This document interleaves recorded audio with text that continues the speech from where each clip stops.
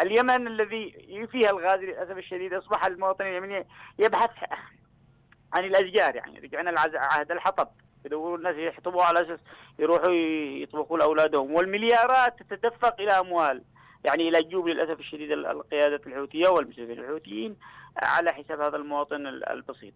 المشكلة والكارثة العظمى عندما نجد أن هناك تقارير للأسف الشديد دولية لا تجرم مثل هذه الأعمال التي للأسف الشديد أصبحت تضر وبشكل مخزي ومؤلم بالمواطن اليمني وما زال المجتمع الدولي يقول أن هناك تجاوبا من الحوثيين ويحاولوا أنهم يلمعوهم في مجلس الأمن أو في التقارير التي تقدم إلى مجلس حقوق الإنسان، هذه واحدة من الكوارث الحقيقية المزدوجة التي يعاني منها المواطن اليمني، هناك مليارات عندما نتحدث على 127 مليون دخل يومي من إيه، موضوع الغاز يعني شيء شيء مخزي. يعني بالنهايه يمكن أن أقول أنه خلال شهر واحد يمكن أن توفر مليارات من الريالات. يمكن أن تساهم في دفع رواتب الموظفين الذين